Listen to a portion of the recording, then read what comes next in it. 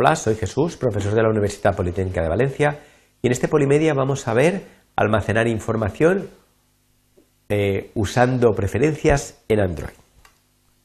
Eh, los objetivos, pues eh, vamos a empezar comentando cómo los datos que manipula una aplicación pueden perderse cuando deja de estar en memoria, cuando la cerramos o cuando el móvil es apagado.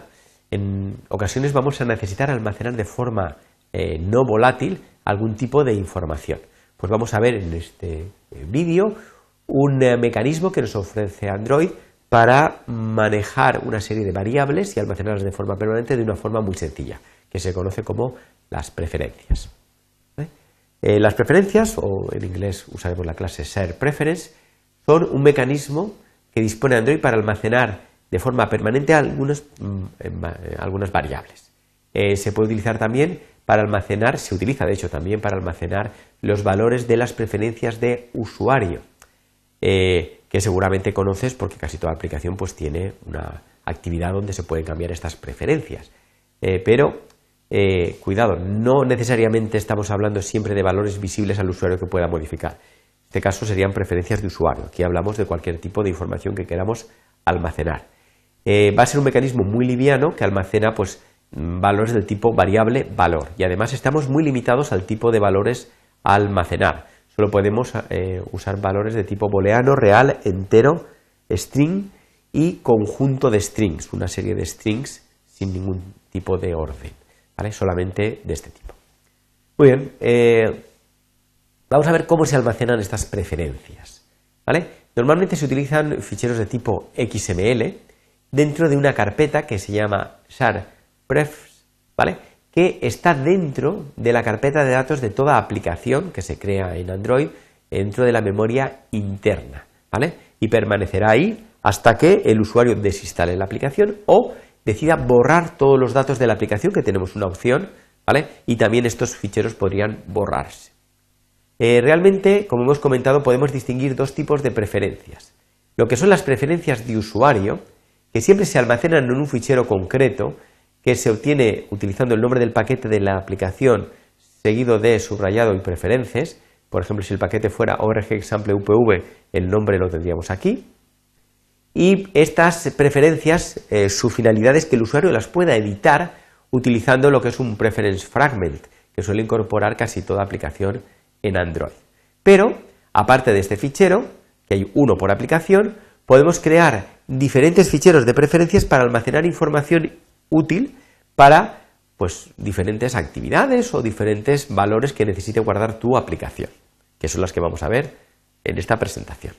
Eh, realmente hay dos alternativas a la hora de decidir qué fichero vamos a usar para guardar las preferencias. Eh, tenemos el método getSharedPreference, donde en el primer parámetro le vamos a indicar el nombre del fichero que va a crear, y esto, eh, indicar este nombre de forma explícita, te va a permitir de alguna manera que puedas usar las preferencias en diferentes actividades, ¿vale? En diferentes partes de tu aplicación.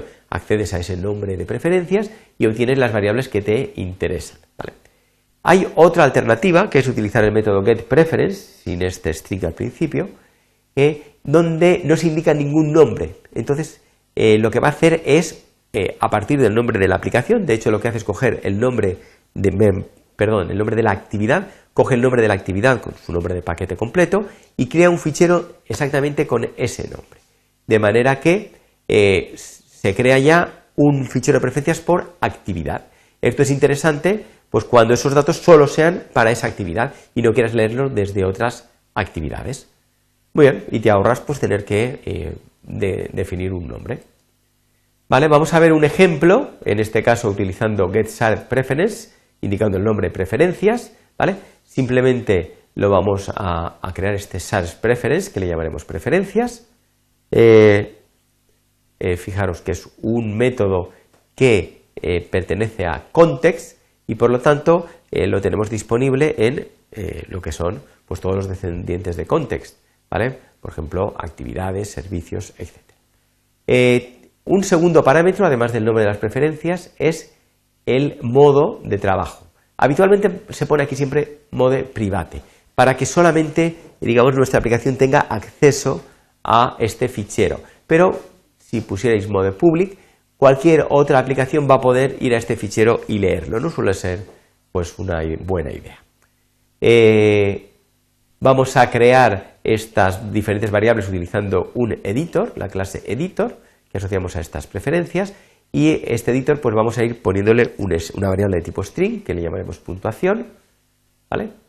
Bueno, aquí debería haber sido nombre, es una errata, debería haber sido nombre para que sea coherente con lo de abajo, y una edad, poniéndole put int, y le pasamos la edad que será una variable de tipo entero, y arriba es una variable de tipo string.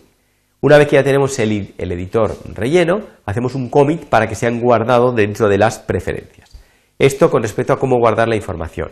Para recuperarla, pues la forma de acceder a ellas es similar. Accedemos al fichero preferencias con el mismo modo, esta línea es exactamente igual a la primera, pero ahora como vamos a leer la información, vamos directamente a preferencia getString, eh, ponemos nombre o puntuación, si le hemos llamado, pero bueno, lógicamente tiene que ser exactamente el mismo nombre en los dos sitios. En caso, en este ejemplo, como nombre no existe porque le hemos llamado puntuación, lo que nos devolvería es el segundo parámetro. El segundo parámetro indica un valor que nos devuelve en caso de no encontrar la variable indicada. Por lo tanto, en este caso, nombre sería comillas, comillas. Eh, edad sí que lo va a encontrar y en este caso nos lo va a devolver. Si no lo encontrará, pues pondría un cero. Muy bien, pues nada, eh, así de fácil. Eh, se puede almacenar información que va a quedar permanentemente, aunque nuestra aplicación sea destruida. Hemos visto cómo usar las preferencias para almacenar de forma permanente algunas variables interesantes en nuestra aplicación. ¿vale? No hay que confundirlo con el concepto de preferencias de usuario, que es otro tipo de información que normalmente es, es el usuario quien va a definir su valor. Dejamos al usuario que eh, mediante las preferencias de usuario las pueda cambiar. El nombre del fichero puede ser eh, indicado directamente por el programador o utilizar lo que es el nombre de la actividad. También hemos descrito cómo almacenar pues, diferentes variables que recordar tienen que ser de tipo booleano, real, entero, string o conjunto de strings. Eh, si quieres hacer un tutorial eh, sobre este tema, pues tienes aquí un link para realizarlo. Muchas gracias por tu atención.